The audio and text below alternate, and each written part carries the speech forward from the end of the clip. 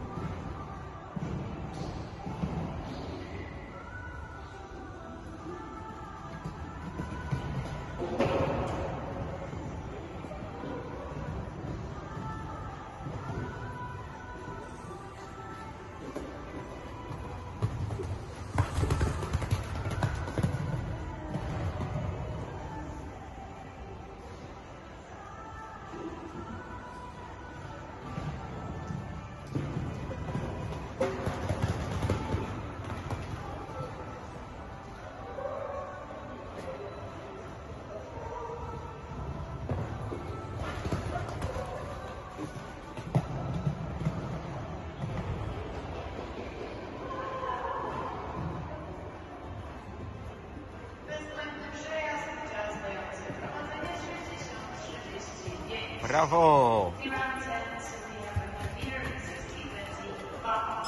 We have a new leader.